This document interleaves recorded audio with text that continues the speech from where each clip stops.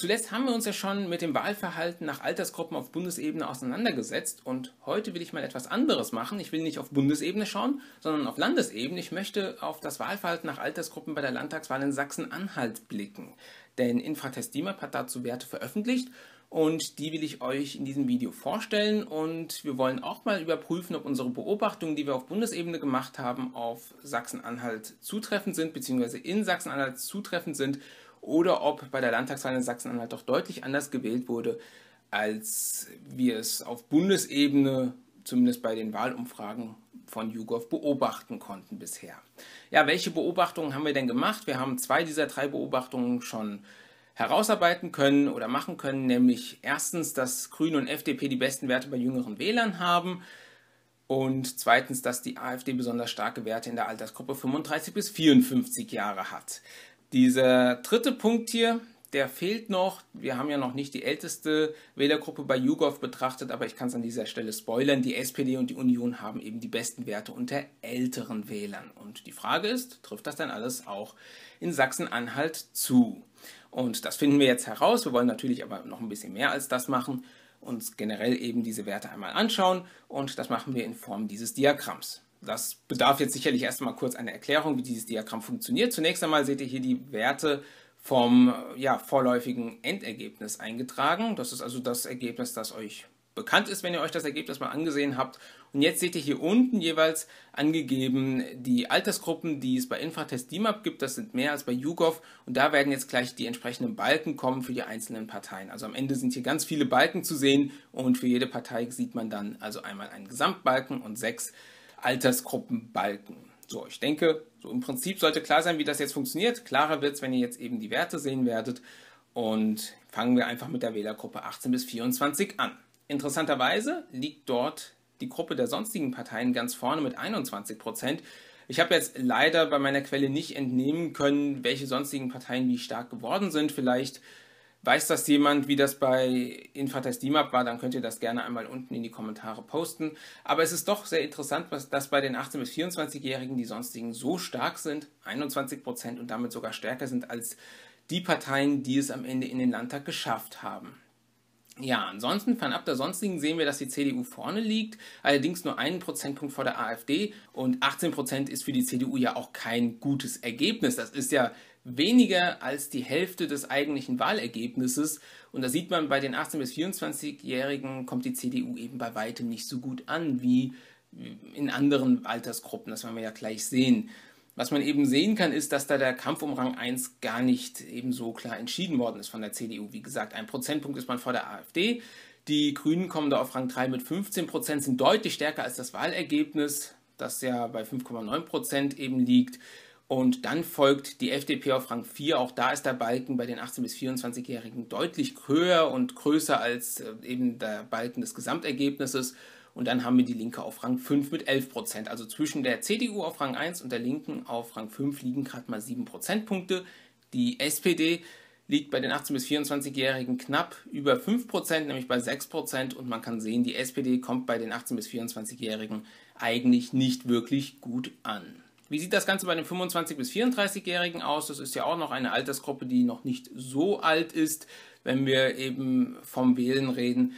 Da sieht es so aus, dass die AfD dort Rang 1 hat mit 28 Prozent. Da sieht man, dass der Balken auch klar über dem Gesamtergebnis liegt. Und es ist ein deutlicher Unterschied hier von 11 Prozentpunkten zur Altersgruppe 18- bis 24-Jährige. Die CDU liegt auf Rang 2 mit einem etwas besseren Wert als bei den 18- bis 24-Jährigen, aber mit 22 Prozent ist das auch noch deutlich unterhalb des Gesamtergebnisses. Auf Rang 3 haben wir die Sonstigen. Die Sonstigen sind auch hier noch ziemlich stark in der Wählergruppe mit 18 Prozent. Und ja, wir sehen, dass die Grünen nicht so stark sind wie bei den 18- bis 24-Jährigen, aber trotzdem noch zweistellig sind und damit auch klar über dem Ergebnis sind, das sie insgesamt eingefahren haben. Bei der Linken sieht man 9%, bei SPD und FDP sieht man 6% und man kann hier sehen bei der FDP, dass sie zwar bei den 18- bis 24-Jährigen super gut verhältnismäßig angekommen ist, aber bei den 25- bis 34-Jährigen ist das nicht mehr so. Da liegt die FDP eigentlich auf Höhe des Wahlergebnisses. Also da sieht man einen großen Unterschied zwischen diesen beiden Wählergruppen. Wir sehen aber hier bei der SPD auch wieder, um mal auf die zu sprechen zu kommen, also auf die SPD zu sprechen zu kommen, dass auch bei den 25 pardon, bis 34-Jährigen ja, die Partei nicht beliebter ist als bei den 18- bis 24-Jährigen und man liegt da ja nur knapp über der 5%-Marke. Für die SPD geht es auch bei den 35- bis 44-Jährigen exakt so weiter. Auch da sind es nur 6%. Auch das sieht nicht wirklich gut aus für die Sozialdemokraten. Dann haben wir im einstelligen Bereich die Linke mit 8%. Da sieht man eine größere Differenz zum Ergebnis. Die Grünen haben hier ein weiteres Runtergehen ihrer Balken zu verzeichnen. Bei den 35- bis 44-Jährigen 8% sind es. Zwar liegt das immer noch über dem Wahlergebnis von 5,9%, aber nicht mehr so deutlich. Man sieht hier eben schon, dass bei den jüngeren Wählern die Grünen viel besser ankommen als jetzt hier bei den 35- bis 44-Jährigen. Die FDP liegt bei 8%. Und ja, ganz vorne liegt die CDU einen Prozentpunkt vor der AfD. Die AfD ist genauso stark bei den 35- bis 44-Jährigen wie bei den 25- bis 34-Jährigen und diese 28 Prozent liegen auch klar oberhalb des Gesamtergebnisses. Ja, und die CDU mit 29 Prozent, die nähert sich hier in dieser Gruppe ein wenig mehr dem Gesamtergebnis an und hier sieht man schon einen größeren Unterschied von 7 Prozentpunkten auf die Altersgruppe 25 bis 34. Die sonstigen sind nicht mehr ganz so stark über den ersten beiden Altersgruppen. Mit 13% liegt dieser Wert aber immer noch über dem Gesamtergebnis der sonstigen Parteien.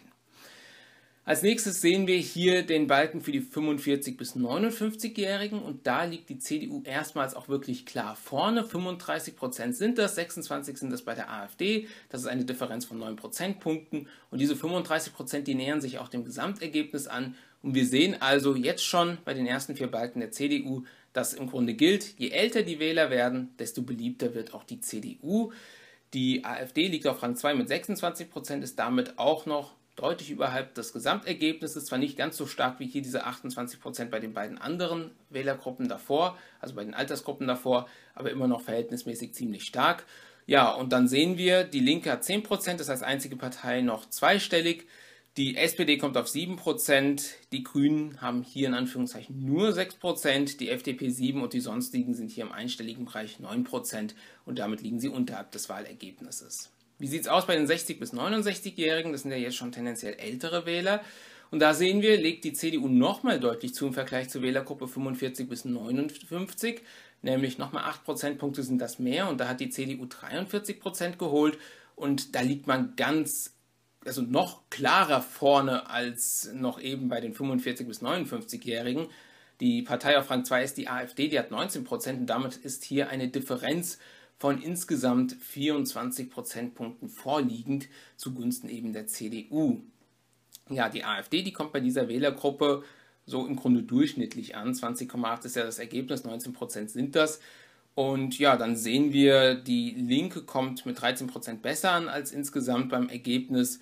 Und die SPD ist zumindest jetzt mal bei 8%. Das ist schon mal eine Verbesserung im Vergleich zu den anderen Altersgruppen, die wir hier sehen können.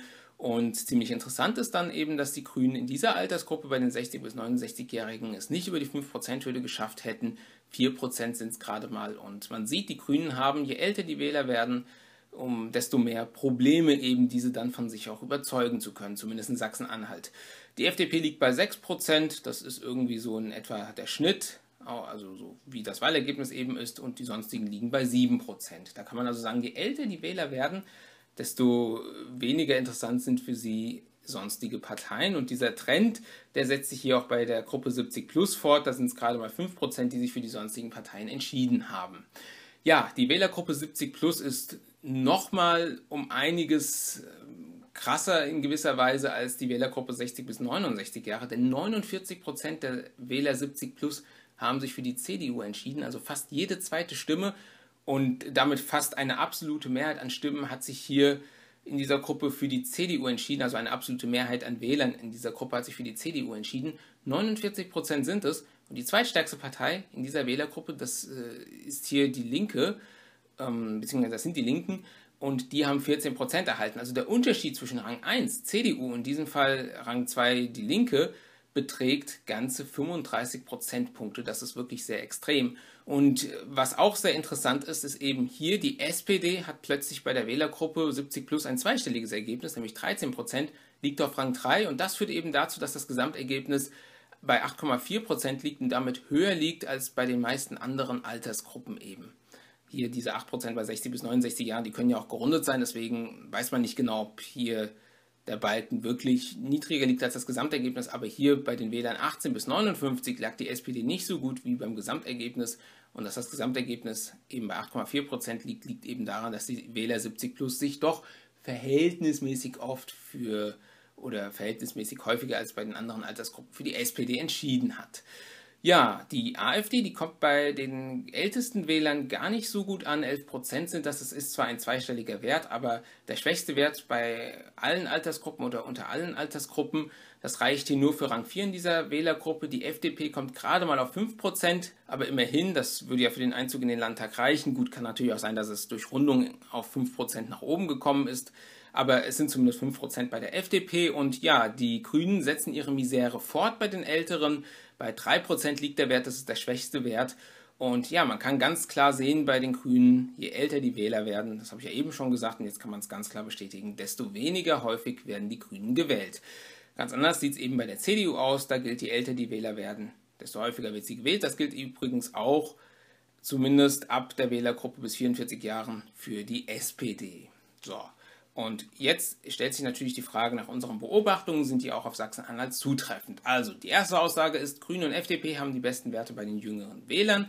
Das können wir eigentlich bestätigen. Bei den Grünen sieht man, dass sie bei den ersten beiden Wählergruppen zweistellig ist und damit deutlich stärker ist als beim Gesamtergebnis. Bei der FDP muss man sagen, ist es nur die erste Wählergruppe von 18 bis 24 Jahren, die die FDP ja deutlich häufiger gewählt hat als die anderen Wählergruppen. Deswegen können wir aber insgesamt sagen, ja, das ist zutreffend. Hier bei der FDP, wie gesagt, ist die Gruppe der 18- bis 24-Jährigen besonders stark. Die Grünen sind eben auch noch bei der Wählergruppe 25 bis 34 Jahre zweistellig. So, gucken wir auf die zweite Aussage. Die AfD hat besonders starke Werte in der Altersgruppe 35 bis 54 Jahre. Um das vorwegzunehmen, das ist nur partiell richtig.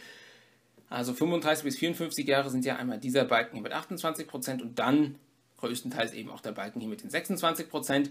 Wenn wir uns diese Balken hier mal anschauen, dann liegen die klar über dem Gesamtergebnis und auch über den Werten von hier der Gruppe 18 bis 24, 60 bis 69 und 70 plus. Und demzufolge kann man schon sagen, ja, diese Wählergruppe hier 35 bis 59, die wählt verhältnismäßig häufig die AfD, aber die Wählergruppe 25 bis 34 kommt ja eben auch auf 28 Prozent und hat demzufolge auch ziemlich oft die AfD gewählt. Und demzufolge muss man sagen, ist die Aussage eben nur partiell richtig. Natürlich muss man sagen, ich gehe nochmal kurz zurück auf diese Folie, bei YouGov gibt es eben diese Unterscheidung nicht in 18 bis 24 und 25 bis 34-Jährige, sodass man nicht weiß, wie eigentlich die 25 bis 34-Jährigen auf Bundesebene wählen und wie sich das auch verhält zu den 18 bis 24-Jährigen in Bezug auf die AfD. Aber es ist zumindest davon auszugehen, dass auf Bundesebene die 25- bis 34-Jährigen nicht so oft die AfD wählen wie die 35- bis 44-Jährigen. Insofern kann man schon auch dabei bleiben, dass das Ganze nur partiell richtig ist. Kommen wir nun zur dritten Aussage. SPD und Union haben die besten Werte unter älteren Wählern. Wir können natürlich jetzt nicht die Union an sich untersuchen, nur die CDU, aber diese Aussage ist zu bejahen. Denn ja, wir sehen es bei der SPD, da ist plötzlich der Balken bei 70 plus deutlich höher als bei den anderen Altersgruppen. Und bei der CDU kann man ja sehen, dass im Grunde schon ab 60 plus die Balken nochmal deutlich höher liegen als hier bei der Gruppe 45 bis 59. Also je älter die Wähler werden, desto eher haben sie sich für SPD und CDU entschieden, vor allen Dingen für CDU, aber man sieht es ja auch bei der SPD ist das ein deutlicher Unterschied zu den anderen Altersgruppen. Und demzufolge kann man diese Aussage mit einem Ja eben versehen. Klar, Union in Anführungszeichen, denn wir können ja nur die CDU, nicht die CSU hier in Sachsen-Anhalt untersuchen, aber im Prinzip stimmt das, dass in Sachsen-Anhalt eben es auch so ist, je älter die Leute sind, die gewählt haben, dann ist es eben auch so, dass die CDU stärker geworden ist und eben auch die SPD ist da stärker geworden im Verhältnis zu den anderen Altersgruppen. Ja, und damit sind wir jetzt auch am Ende von diesem Video angelangt. Ich hoffe, das war mal ein interessanter Einblick jetzt in eine konkrete Wahl und ja, das soll es zu diesem Video gewesen sein.